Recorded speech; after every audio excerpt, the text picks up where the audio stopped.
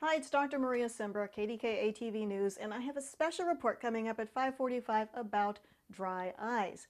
You know the feeling, irritated, red, gritty eyes, but there's some unusual symptoms too, like blurry vision and pain. You'll hear from optometrist Dr. Mark Clement, who will talk about these often overlooked symptoms.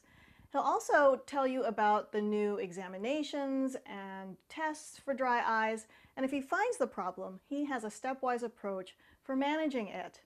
You'll also hear from Jessica Alberts. She's a patient with dry eyes, and you'll hear about what she's tried, what it's been like for her, and actually what works best. I will tell you where tears come from, what they're made of, and what has to be in balance so that eyes don't dry out. That's all coming up at 545 on KDKA TV News and then later on KDKA.com. I'm Dr. Maria Simbra, KDKA TV News.